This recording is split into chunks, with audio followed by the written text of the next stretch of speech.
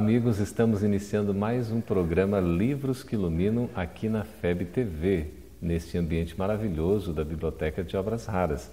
E vamos conversar com Maria Inês Vangal Milanese. Muito obrigado, Maria Inês, por sua presença aqui. Seja bem-vinda. É, eu que agradeço a oportunidade de falar sobre um livro de um assunto tão importante como é a família.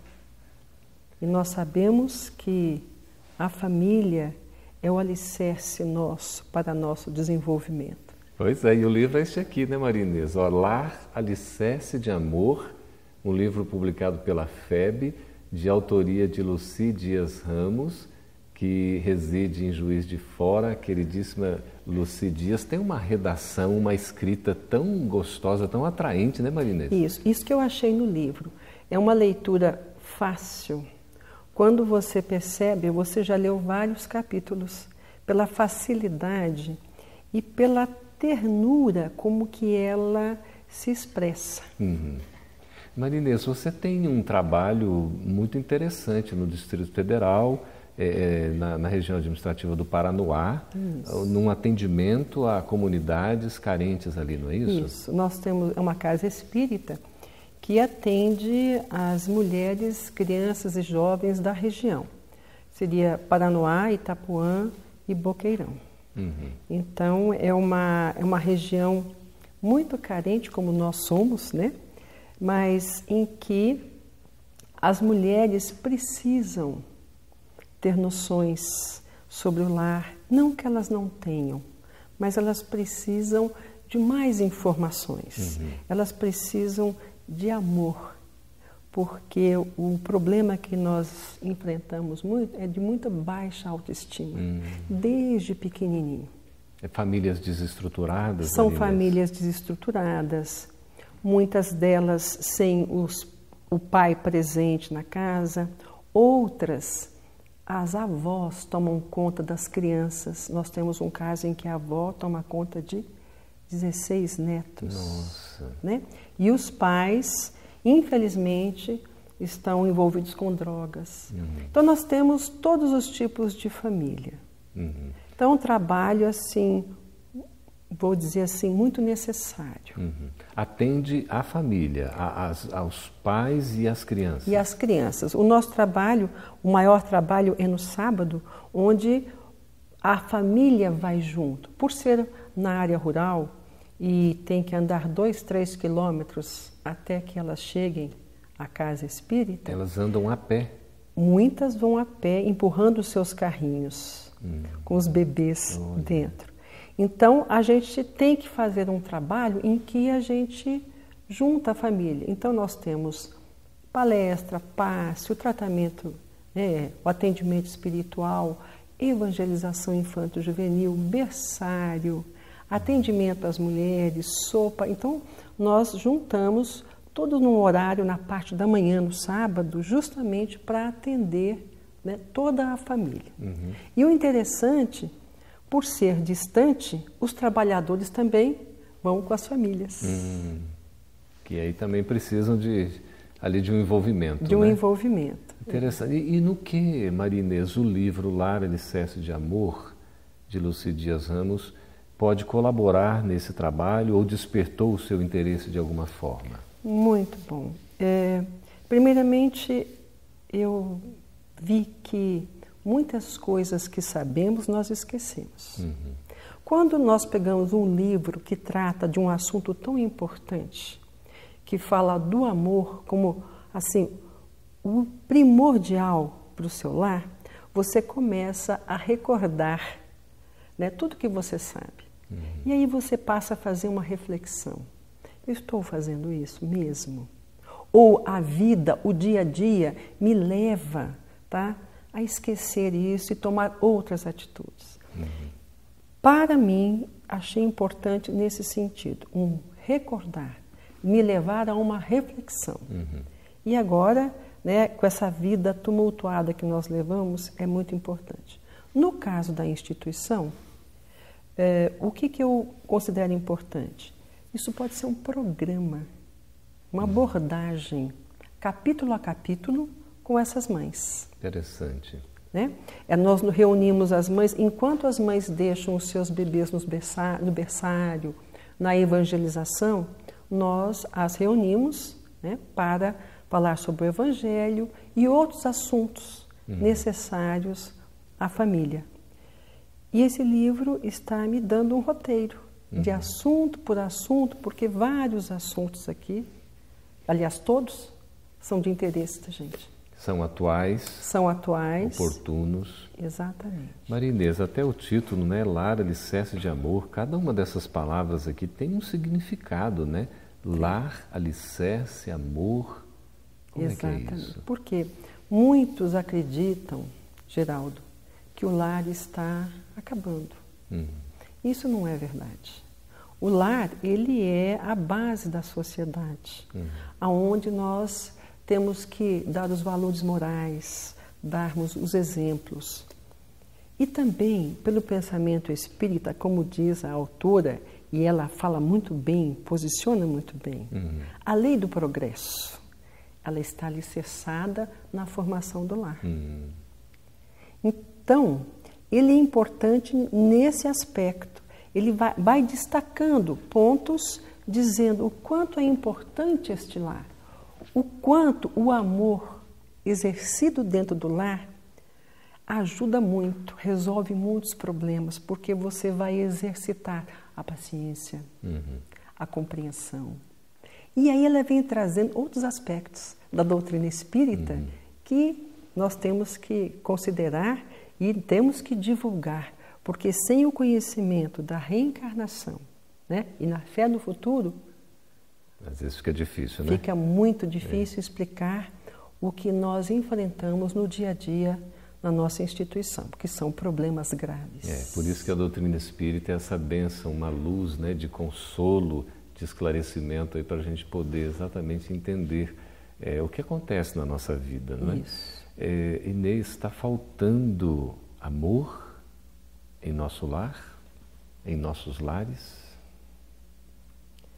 É muito difícil uh, generalizar, mas podemos dizer que a vida moderna, este apelo para a materialidade, este apelo pela sensualidade, nós vamos deixando de lado um pouco os nossos, nossos sentimentos, as nossas emoções e nós voltamos só para o lado exterior. Uhum. Então, o amor ele precisa voltar a ser a tônica dentro, da, dentro do lar, dentro da casa. Uhum. Ele tem que ser analisado, né? ele tem que ser assim colocado em posição de destaque. Uhum. A base. É a base. Aliás, não é só no lar. Em qualquer atividade que você for exercer, se você não tiver o amor, né? se você não tiver esse amor de dedicação, esse amor de abnegação. Não vai dar certo. Não vai dar certo. é impressionante, né? É por isso que tem a fábula, né? Que estava aquela situação toda problemática no mundo e Deus resolve criar a figura da mãe. Né? Que a gente tem na mãe, sobretudo, é, o amor, a curiosidade. Geralmente quem leva as crianças lá que você estava falando são as mães. Isso, são as mães. Como eu disse, lá é muito longe nós consideramos as mães como assim, médium de transporte, entre aspas. Por quê? Através delas é que os filhos chegam à instituição. Uhum. Né? E como é longe, nós temos que dar todo um carinho, uma atenção a elas, para que elas entendam a importância da evangelização. Uhum. E não é só isso. Dentro da instituição, as crianças chegam por volta de oito e meia tem o café da manhã, tem a alegria uhum. cristã, tem um passe, tem evangelização, tem as oficinas, mas junto com isso existe o quê? A disciplina, uhum. a organização, né? E a limpeza. E tem alimentação material também? Termina com a sopa. Ah. Uma sopa que é para todos os uhum. presentes. Imagina o horário, né, Marinês, que esse pessoal, essas mães saem com seus filhos de casa. Exatamente, Geraldo. Tem horas que é, nós ficamos olhando e sentimos vergonha, uhum. porque nós, nós, vamos de carro é. e elas vão a pé com os seus filhos. Uhum. No No meio do caminho a gente dá carona, Sim. mas elas já andaram não sei quanto é. né, para chegar até lá. E elas vão com dois, três filhos, bebezinhos. Então tem que ter um café da manhã e tem que ter uma sopa. Sim, sim. Tem que ter todo. Elas chegam por volta de 8 e meia, 15 para as 9 e vão sair meio-dia, meio de meia, uma hora. É. Porque tem o bazar no final, um bazar beneficente. Uhum. Né? Então, nós agrupamos todas as atividades. É. Aqui, Marinês é, Lucy Dias, autora do livro Lara e Excesso de Amor, ela começa com uma espécie de um poema, falando Isso, da família da e família. da vida. Qual é a conexão entre família e vida, entre vida e família? Olha, eu acho que a conexão ela é total. Como é que a vida pode se desenvolver de forma harmoniosa, né? É, atendendo aos, aos compromissos de cada um, que é a sua própria evolução. Se você não tem a família, esse esteio, uhum. aonde é a primeira escola, é o primeiro estágio, é onde o amor começa a ser desenvolvido ali. É quando a criancinha, ela começa, como ela ela não sabe, ela começa a sentir esse sentimento de amor uhum. de uma forma muito ampla. Então, família e vida é tudo. Vida é família e família é vida. É o princípio, né? Ali, é o princípio. Impressionante. Muito bem, nós estamos conversando com Maria Inês acerca desse livro Lar, Alicerce de Amor, da autora Lucy Dias Ramos publicado aqui pela Federação Espírita Brasileira. A gente vai para um breve intervalo e voltamos daqui a pouquinho para o nosso segundo bloco. Fique aí.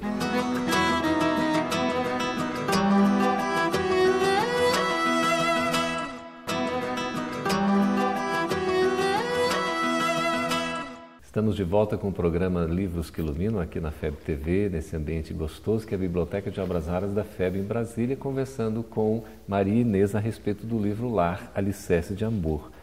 Maria Inês, aqui ao fechar a, a apresentação do livro, já num, num prefácio né, que a autora faz, ela diz assim, Lar, na página 14, Alicerce de amor é o que desejo que você construa na formação de sua família ou na restauração dos vínculos que permanecerão como pilotis estruturadores na vivência desse sentimento nobre, mantenedor da fortaleza da fé e da confiança em Deus. Ela deixa uma mensagem assim destacando a importância do lar como essa base, não é? Exatamente. E o amor, esse fundamento para que o lar exista na construção de um mundo melhor. É, porque Jesus nos deixou o amor como ensinamento. Uhum.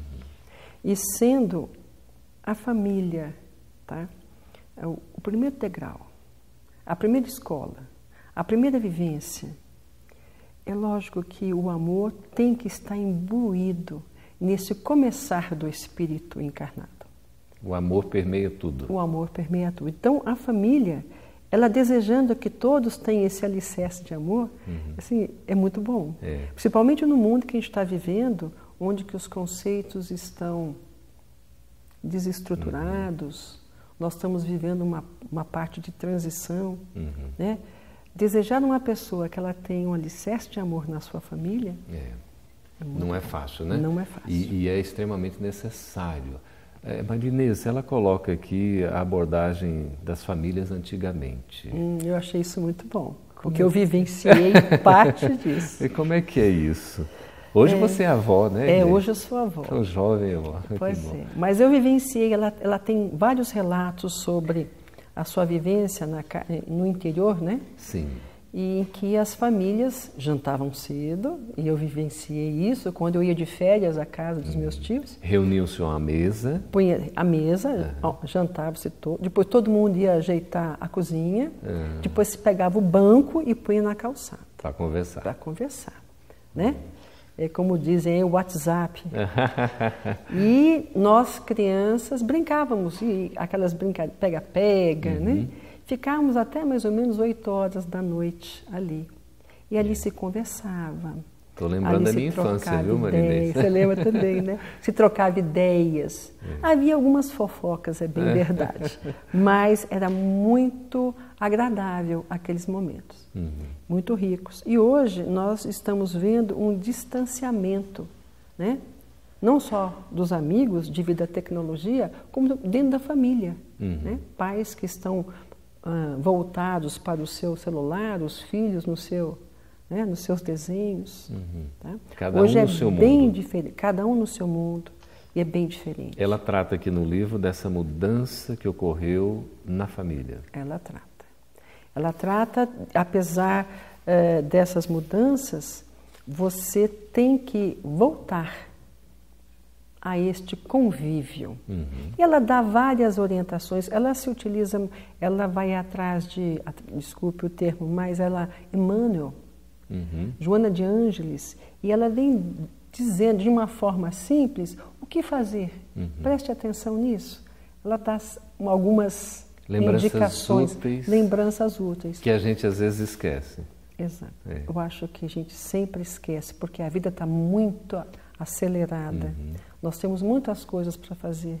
E esquecemos e, de dar atenção é. às coisas talvez mais importantes. É. Aí ela ressalta a importância de momentos de reflexão. Criar esses momentos. Criar esses momentos, onde a oração está presente, aonde a meditação também, uhum. como um, um momento de refazimento e de recuperação das informações, análise, uhum. correção de rotas. Marinê, está nos faltando isso hoje na família? Eu acredito que sim, eu acredito que sim. É, pelo menos na, nas famílias que nós estamos trabalhando, onde a carência é muito grande, uhum. não se tem tempo, muitas vezes, para uma oração, para uma reflexão. Uhum. Por quê? Além dos problemas vivenciados, tem a televisão, tem o celular, tem a internet. Hoje, nós temos muita distração, o que não tínhamos antigamente. Uhum. Vamos dizer, no futuro, né? É. No, no, passado bem recente, uhum. nós não tínhamos tanta distração. Talvez o problema seja esse, a falta de tempo, porque temos muita coisa para nos distrair. É, acaba desviando a atenção. Acaba desviando. Do não essencial, que, né? É, não que é, é, eu seja contra, não é isso, mas hum. tudo tem que ter o seu espaço. É, tem que ser os seus limites também, né? É, ela coloca, é tão bonito aqui, ela coloca o amor é o caminho. É o caminho.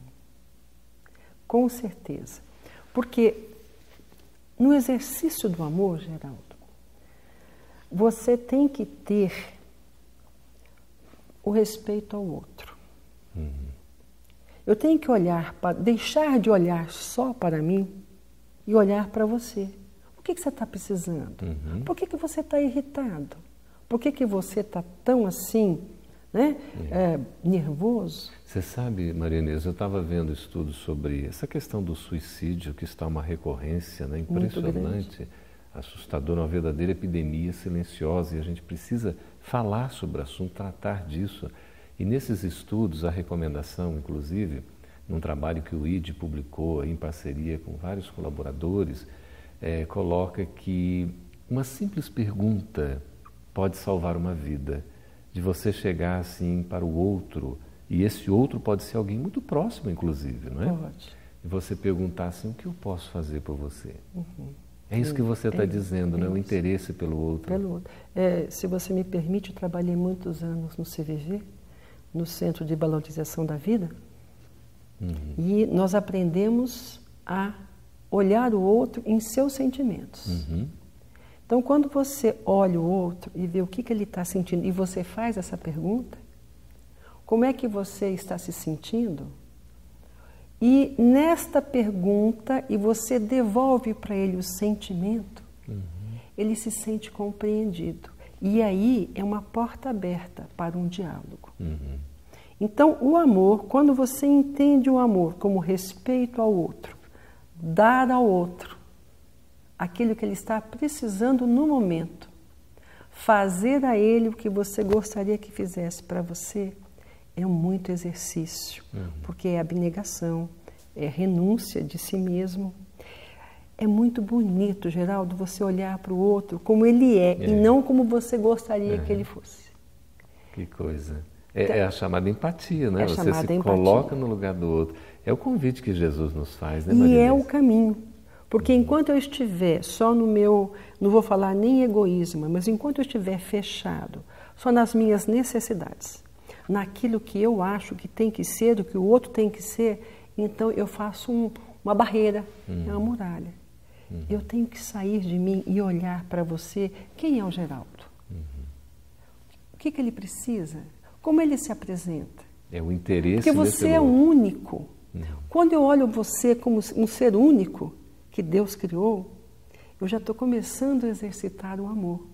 E aí eu tenho paciência, uhum. porque eu estou te enxergando.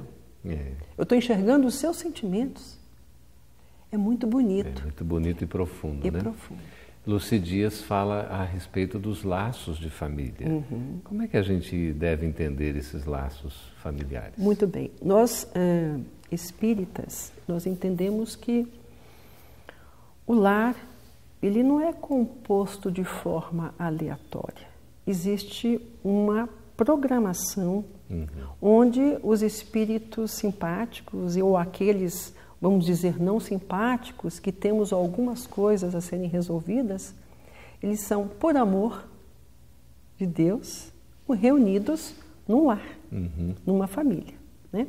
Então nós temos aí os laços consanguíneos, mas nem sempre são uh, os laços familiares daquela Família espiritual. Da né? família espiritual. Uhum. Né? São a, a, nossa parentela. Uhum. Que vai nos dar a oportunidade de um reposicionamento. Quando eu tenho esse conhecimento da, desta formação familiar, da reencarnação, e que nós somos espíritos imortais e que estaremos sempre nos encontrando para que possamos acertar determinadas arestas. Uhum. Então, pelo menos parece ficar mais fácil. Fica né? mais fácil a é. compreensão. E nesse instante, aí eu tenho mais paciência. Uhum. Nesse instante, por quê? Dilata a tolerância. A né? tolerância, uhum. a compreensão, uhum. né? o silenciar no momento correto, porque como eu já conheço o outro. Uhum. Então, são vários aspectos que a doutrina espírita nos traz como subsídio para que a gente possa ter uma, vamos chamar assim, uma atitude mais inteligente. Uhum. Porque se eu quero a minha felicidade.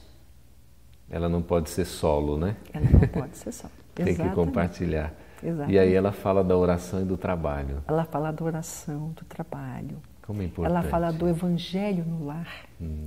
Que como é importante a família se reunir né, naquele horário uhum. né, para estudo dos ensinamentos de Jesus, porque o Evangelho de Jesus nos traz a solução. O problema é que nós não estudamos, uhum. nós não compreendemos todo o ensinamento de Jesus e nós temos a, a solução. Então, o Evangelho no lar é essa oportunidade. Abre as portas. Abre. Nós temos muitas mães que falam assim: ah, mas eu não consigo. Meu marido, toda vez que eu vou fazer o Evangelho, está bêbado. Hum, olha só. Né? Os meus filhos estão na rua, não querem entrar porque estão com companhias inadequadas. Uhum.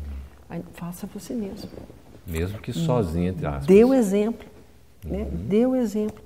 E com o tempo você vai perceber que as coisas vão mudando. Porque quando, como diz o Divaldo, numa das suas palestras, uma pessoa né, uhum. se ilumina, é, ilumina, ilumina é, toda é, a casa. É Joana de Ângeles. Joana de Ângeles. É impressionante, é isso mesmo. Quando uma, um lar se ilumina, ilumina toda a rua. É. Quando a rua se ilumina, ilumina toda a cidade. É. Então, ponto fundamental: evangelho no lar. Não podemos deixar, assim como a gente né, tem, come, gosta de comer, de beber, é, o evangelho do lar tem que ser o alimento espiritual. O alimento espiritual. Maria Inês, nós vamos aqui por um breve intervalo e a gente vai voltar daqui a pouquinho. Você continue conosco aí, por favor. Muito obrigado.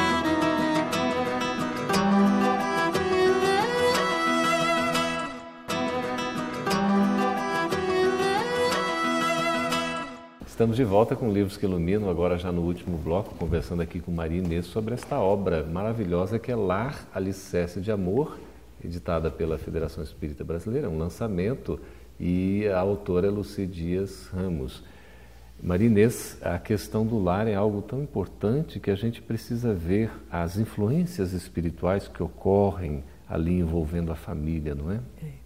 Esse é outro aspecto importante, porque devemos estar atentos às influenciações.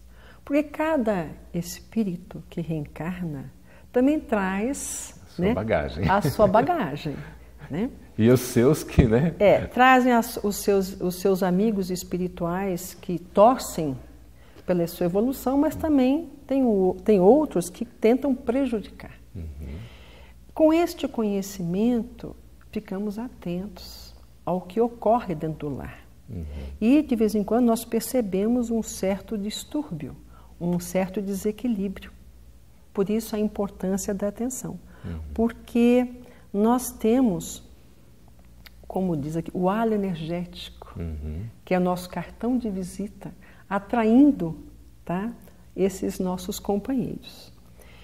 Estar atento através da oração, através da paciência, do evangelho no lar, uhum. tá? nós vamos, de certa forma, minimizando essas influências negativas. Negativas e muitas vezes até influenciando para o bem, uhum. porque elas estão presentes em nosso lar e todo o nosso comportamento, é, não só o falar, mas também o agir, está sendo observado. Uhum. Então, vem um ponto fundamental, que é o exemplo dos pais. A forma como que eles né, lideram dentro de casa, é. para que influencie né, os filhos e também esses companheiros espirituais. Aí tem todo um trabalho, né, Marinês, de educação dos próprios pais, o que não é um processo fácil, né? Pois é. Hoje a, a família está desestruturada?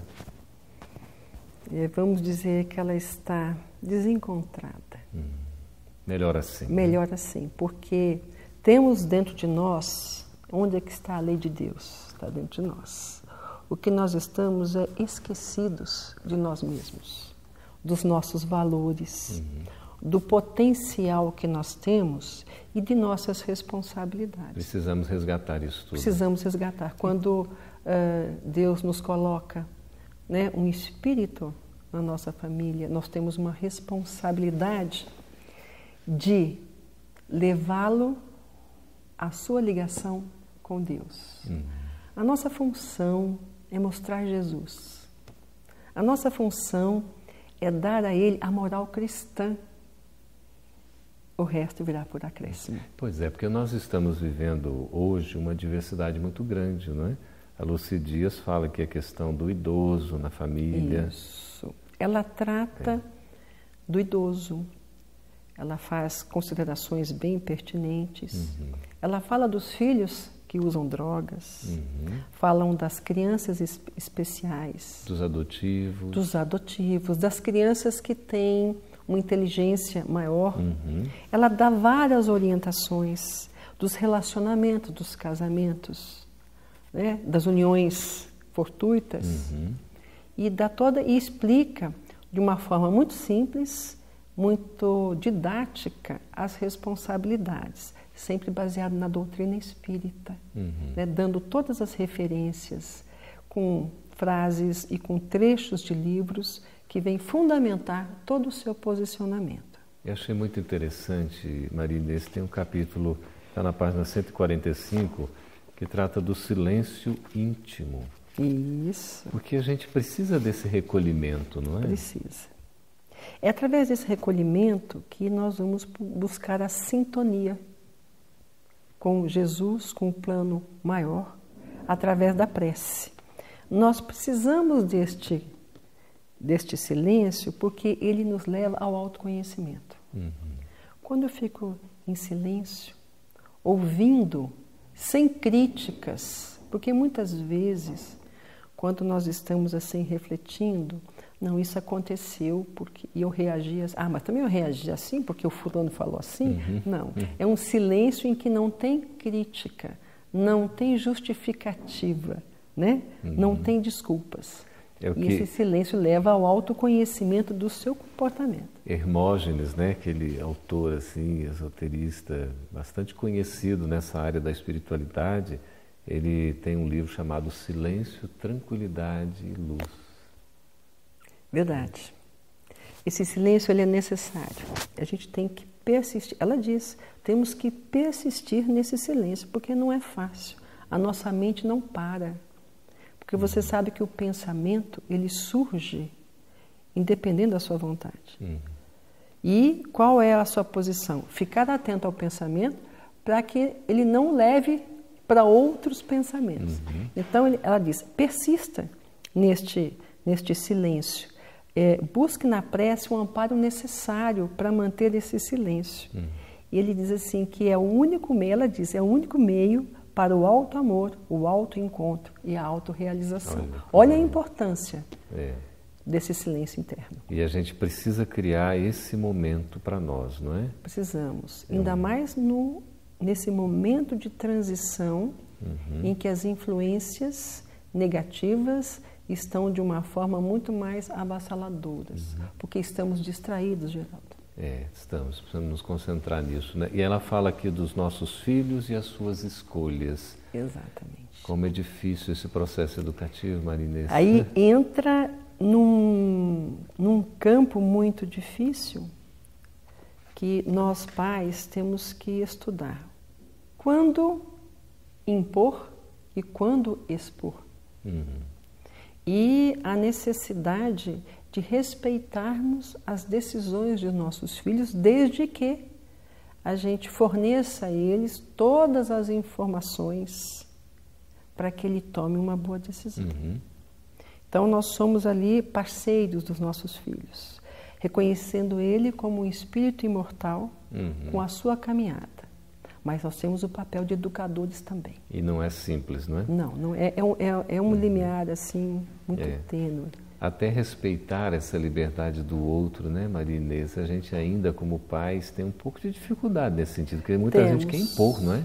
Quer impor. É. Quer dizer o que, que o filho vai fazer, né? Uhum. É, ou que o filho tem que ser sacerdote, por exemplo. Definir. A... Definir, né? Emmanuel fala disso Ele quando fala. trata da vocação, como é importante a gente tomar o cuidado de, como, como pais, não acabar definindo esse futuro, inclusive profissional do nosso filho, que pode até, digamos, desviá-lo de uma função que... De uma função que ele veio para uhum. executar. Então, é, Geraldo, nós aprendemos muita coisa. Aprendemos português, matemática, história, uhum. geografia, mas nós não aprendemos a ser pais. Não tem um curso para isso? Não assim? tem um curso. Não tem um curso de como enfrentar problemas. Uhum. E a doutrina espírita, quando bem orientada, ela vai dar para a família, para os pais. Toda essa base. Toda essa base. Que maravilha. Aí a gente vê a questão da coragem moral. É. Esse é, é, outro. Um ponto aqui, né, fundamental. Ela trata na página 173, né? E ela escreve de um jeito tão gostoso, né, Marília? Ela começa assim: amanhece, as brumas da noite que termina cedem lugar à luminosidade hum. que o despertar da natureza impõe, refazendo a beleza de um novo dia. É uma poeta, né? É, Poetisa, muito, coisa linda. Muito suave. E em cada capítulo eu fiz todo um resumo porque é. tem muita coisa importante. Muito rico, né? Ela diz assim que nem todos nós, nem todos estão preparados é, com a resignação né, e sem queixume para enfrentar os sofrimentos. Uhum. É. O espírito escolhe com discernimento aquilo que ele quer é, executar na sua encarnação. Mas quando chega aqui, tá? Titubeia, né? Quer a fugir. materialidade o puxa para baixo. Uhum. Né?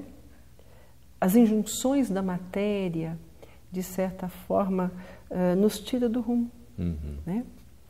E então, ela, essa vida material, ela diz aqui, infunde em nosso espírito a indiferença moral. Muitas vezes por motivos fúteis, distanciamos dos nossos compromissos e de nossa família. E nós somos testados todos os dias.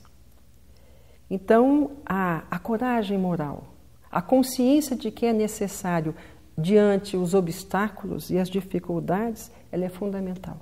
Uhum. Ele diz assim: exercite o amor com os que causam problemas e sofrimentos. Eles o levarão ao exercício correto das virtudes. Olha, interessante.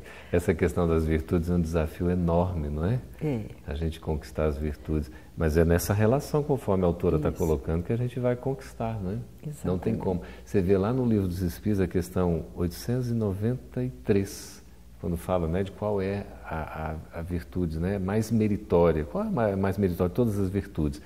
Aí ele vai desenvolvendo a resposta para colocar, que é, é aquela que se assenta na mais desinteressada caridade.